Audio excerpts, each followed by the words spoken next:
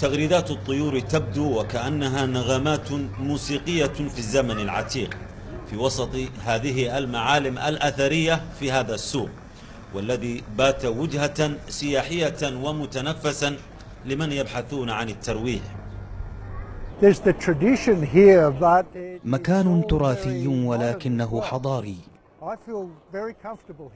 أشعر بالارتياح هنا عندما أتجول في أنحاء السوق. إنه من السهل جدا الحصول على المشتريات والاختلاط بالناس والأكل. إنه لمكان رائع للتواجد فيه. يعتبر سوق واقف الوجهة السياحية الأولى في العاصمة القطرية الدوحة. ويتحلى بحلة ذات لونين تجذب الزائرين وتثير انتباههم. القدم والحداثة مما منحه أن يكون جميلا في عيون القادمين إليه.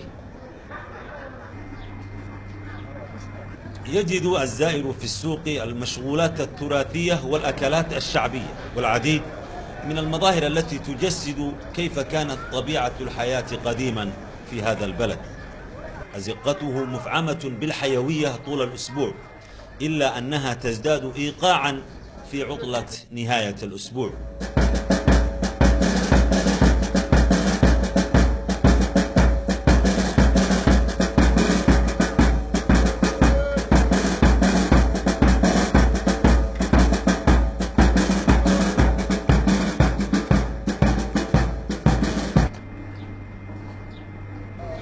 لوقوعه في قلب الدوحة ولتنوع ما هو موجود فيه. يجعله من أكثر الجهات التي يقصدها الزوار والاهتمام به من قبل الجهات المعنية. أدى إلى أن يحافظ على هويته التاريخية. عبد الملك علدون الجزيرة من سوق واقف الدوحة.